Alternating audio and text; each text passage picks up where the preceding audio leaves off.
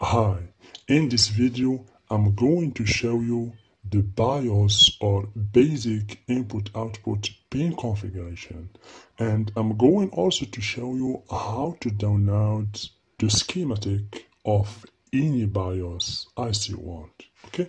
And of course I'm going to show you a real BIOSes in a real motherboard so let's, for example, take this reference. We have here 25Q16BVSIG.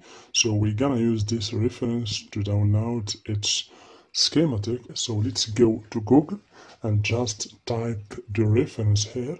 So 25Q16BVSIG.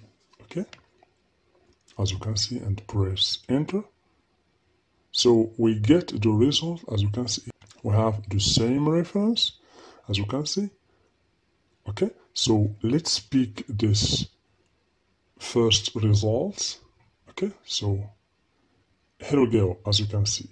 We have the same reference 25Q16BV8IG. We have here 16 megabit serial flash memory. So this is the right schematic.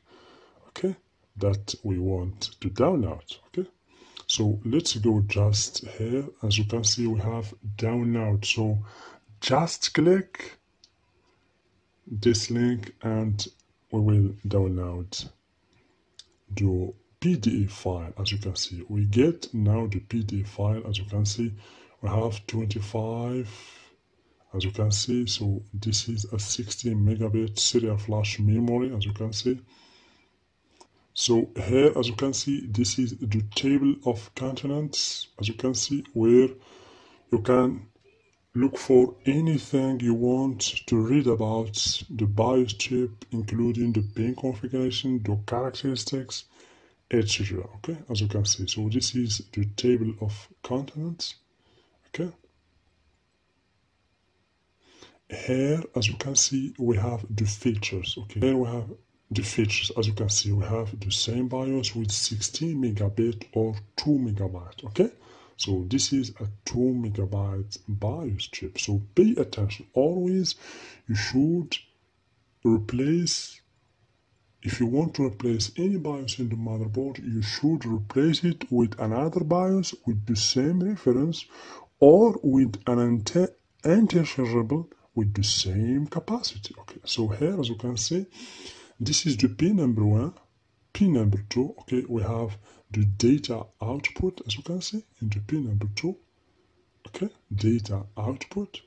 Okay, here in the pin number three, we have write protect. Okay, this is the ground in pin number four. So always the pin number four for, for every HP BIOS is connected to the ground. Okay, so remember always pin number four connected to the ground here we have pin number five. This is data input okay?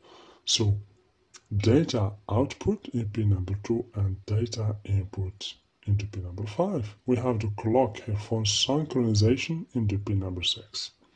And here of course we have the hold okay? So this is for input output and vcc okay? For the power for the BIOS into pin number 8 always always the pin number 8 for every HP BIOS is for the power okay? So if you want to check the VCC for a BIOS check it in the pin number 8 okay? So the, basically the power for the BIOS is 3.3 volt okay? You should get 3.3 volt in the pin number 8 so here as you can see this is so here as you can see this is the pin description. As you can see here we have the table with description and we have the diagram for the BIOS as you can see. So for each pin we have its function okay? For example for pin number 6 we have serial clock input. Pin number 7 we have the hold and pin number 8 we have the power supply and so on okay I'm going to show you basics on how to read a laptop schematic. Okay, so as you can see here, this is basically a table of contents, okay, of a laptop. So if you understand just how to read the table of content, you can read any laptop motherboard. As you can see, basically here we have pages and description okay so here for example we have in the page number five we have the dc battery changer. We have page number six select battery connector system power and so on. Here as you can see this is the ddr2 here we have the lcd connector the IC ich okay and here we have the super io as you can see here.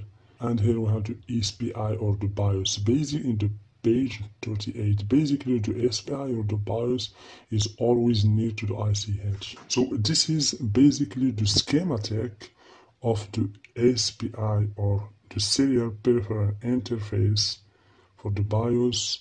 Here, this is a BIOS with 8 pin basically. Okay, so always the pin number 4 is connected to the ground as you can see.